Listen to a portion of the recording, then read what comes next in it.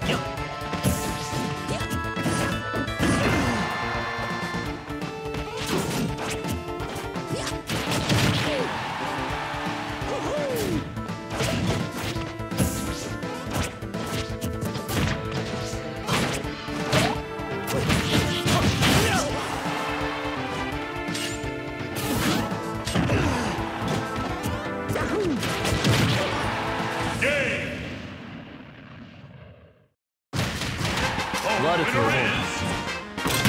Whoa!